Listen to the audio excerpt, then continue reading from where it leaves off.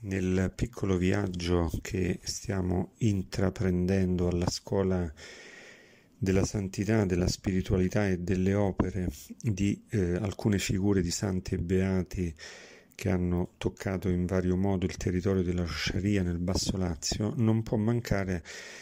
una figura straordinaria, fondamentale nella storia del carisma del preziosissimo sangue, cioè San Gaspare del Bufalo la cui memoria liturgica cade il 28 dicembre, anche se la congregazione dei missionari del preziosissimo sangue, che proprio da lui, da San Gaspare, ha avuto inizio, eh, celebra, festeggia il suo fondatore il 21 ottobre. Nel 1808 il sacerdote romano Francesco Albertini istituì una confraternita dedicata al preziosissimo sangue di Gesù per onorare la reliquia conservata a Roma nella basilica di San Nicola in carcere, secondo la tradizione un brandello della veste di Longino, il nome attribuito al soldato romano che avrebbe colpito con la lancia il fianco di Cristo crocifisso con una macchia di sangue del Signore. Fin dagli inizi, tra i più validi collaboratori dell'Albertini, nella diffusione di questo nuovo culto, vi fu un altro sacerdote romano, Gaspare del Bufalo, che sarebbe diventato poi il fondatore dei missionari del preziosissimo sangue. E una protagonista altrettanto cruciale di questa nuova spiritualità fu ovviamente Santa Maria di Mattias, che nel 1834 fondò le adoratrici del preziosissimo sangue, oggi denominate adoratrici del sangue di Cristo, ramo femminile, in sostanza, dell'opera ispirata da Dio a San Gaspare. Fu proprio quella corrente di fede e di devozione che portò il beato Papa Pio IX nel 1849 a indire il primo luglio la festa del preziosissimo sangue unita dalla riforma liturgica a quella del Corpus Domini. Il 30 giugno 2018, ricevendo in udienza i partecipanti ad un incontro degli istituti religiosi e laicali che si ispirano alla spiritualità del sangue di Gesù, Papa Francesco affermava che Dio ha scelto il segno del sangue perché nessun altro segno è così eloquente per esprimere l'amore supremo della vita donata agli altri aggiungendo poi che la meditazione del sacrificio di Cristo ci induce a compiere opere di misericordia, donando la nostra vita per Dio e i fratelli senza risparmio. E rimarcando che la vera forza della testimonianza cristiana deriva dal Vangelo, Francesco in quella occasione sempre sottolineava che è qui che emerge la centralità del sangue di Cristo e della relativa spiritualità si tratta infatti di fare affidamento soprattutto alla sovrabbondanza d'amore espressa nel sangue del Signore. In tal senso si offre a noi ancora oggi come modello la figura di San Gaspare del Bufalo, che si sforzò di tenere vivo l'ardore della fede nel popolo cristiano percorrendo le regioni dell'Italia centrale, sono ancora le parole di Papa Francesco. Con l'esempio del suo amore a Dio, della sua umiltà, della sua carità, egli seppe portare dappertutto la riconciliazione e la pace, andando incontro alle necessità spirituali e materiali delle persone più fragili che vivevano ai margini della società. Gaspare era nato a Roma il 6 gennaio 1786 e fin da ragazzo aveva manifestato una particolare attrazione per una vita dedita alla preghiera e alla penitenza. Completati gli studi presso il Collegio Romano, si diede ad organizzare opere di assistenza spirituale e materiale a favore dei bisognosi. Ordinato sacerdote il 31 luglio 1808, intensificò l'apostolato, l'apostolato fra le classi popolari fondando il suo primo oratorio in Santa Maria in Pincis e specializzandosi nella evangelizzazione dei cosiddetti barozzari, carrettieri cioè e contadini, della campagna romana che avevano i loro depositi di fieno nel foro romano. Per la Chiesa intanto non correvano affatto tempi facili. All'inizio di luglio del 1809 Papa Pio VII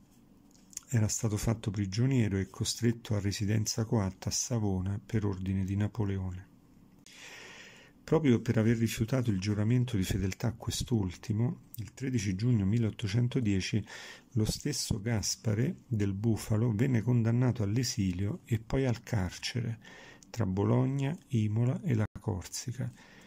una pena che egli sostenne con animo sereno per ben quattro anni. Tornato a Roma nei primi mesi del 1814, dopo la caduta di Napoleone, Gaspare mise le sue forze e la sua vita al servizio del Papa, che gli affidò il compito di dedicarsi alle missioni popolari per la restaurazione religiosa e morale della gente. Quale mezzo efficacissimo per promuovere la conversione dei peccatori e debellare lo spirito di empietà e di ostilità alla fede cristiana diffuso, diffusosi durante gli anni napoleonici, Gaspare scelse la devozione al preziosissimo sangue di Gesù.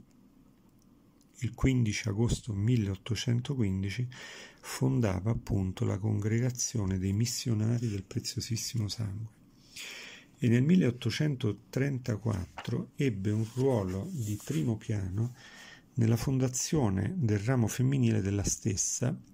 dovuta a Maria de Mattias, la cui vita ebbe una decisiva svolta proprio ascoltando la predicazione di San Gaspare durante una missione a Valle Corsa, il paese di origine di Maria de Mattias. Gaspare sostenne con grande coraggio la lotta accanita che gli mossero le società segrete, in particolare la massoneria, e nonostante le minacce e gli attentati alla sua stessa vita fisica, non cessò mai di predicare apertamente contro tali sette, convertendo intere logge massoniche e senza stancarsi di mettere in guardia il popolo cristiano contro la loro propaganda satanica. Un altro campo di battaglia apostolica del nostro santo fu quello del brigantaggio, una piaga che si andava diffondendo velocemente nello Stato pontificio durante l'Ottocento. Papa Leone XII inviò Gaspare nelle zone battute dai briganti e l'Apostolo del sangue di Gesù, con le sole armi del crocifisso e della misericordia evangelica, riuscì a ridurre la terribile piaga sociale nei dintorni di Roma e nella provincia di Marittima e Campagna dello Stato pontificio, riportando pace e sicurezza tra le popolazioni. Gaspare morì a Roma, dove era nato, il 28 dicembre 1837. Fu beatificato da San Pio X il 18 dicembre 1904 e canonizzato da Pio XII il 12 giugno 1954, 70 anni fa. Il suo corpo riposa oggi a Roma, nella chiesa di Santa Maria, Maria in Trivio, a Fontana di Trevi, sue reliquie sono però venerate anche nel santuario a lui dedicato e molto frequentato ad Albano Laziale, luogo della sua prima sepoltura.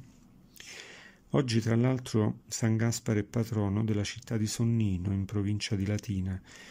uno dei centri in cui fu molto attivo il brigantaggio. Per riascoltare almeno in parte la voce di questo grande santo, ascoltiamo alcune sue parole che ci sono state lasciate grazie ai suoi scritti. Dice in una circostanza, vorrei avere mille lingue per intenerire ogni cuore verso il sangue preziosissimo di Gesù. È questa una devozione fondamentale che abbraccia tutte le altre. Essa è la base, il sostegno, l'essenza della pietà cattolica